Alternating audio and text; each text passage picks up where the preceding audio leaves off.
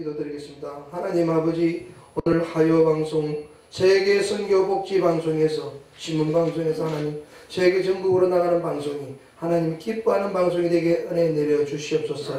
하나님 오늘 말씀과 찬양과 워십으로 하나님 올릴 때 모든 사람이 보고 그 찬양과 말씀과 은혜를 통해서 하나님 기뻐하는 방송이 되어서 은혜 받고 돌아오는 귀한 방송이 될 수 있도록 허락하여 주시옵소서.